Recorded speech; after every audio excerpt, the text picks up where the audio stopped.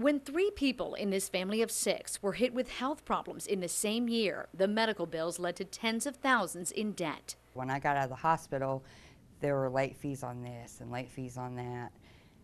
And once you have late fees, there's just no catching up. Not when you're living paycheck to paycheck to begin with. Amanda Tuttle looked for help and found it in the nonprofit ClearPoint. And then we usually work with the creditors directly to hopefully be able to waive late payments, waive over limit fees, and also be able to reduce their um, interest rates and sometimes even have the account re-aged. And those are the things that we can do if they decide to enroll in a debt management plan. Before ClearPoint got involved, our monthly payment was a little over $1,300.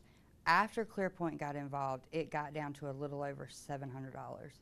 And I mean, just that difference was amazing. One warning this industry has a lot of scams in it, so make sure if you do get help, you use a company that's accredited by the National Foundation for Credit Counseling. The legitimate companies will not likely advocate bankruptcy or settle debt, since those moves affect your credit and taxes. Instead, for a small monthly fee, they'll help you set up a budget and repayment plan that is sustainable. What's been the most helpful part of this process?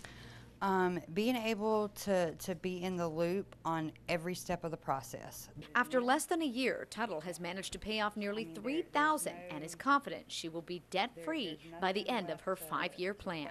So, all in all, it feels really, really good again. In Greenville, Diane Lee, 7 News. So this is basically your monthly income and then your expenses, budget and spending information.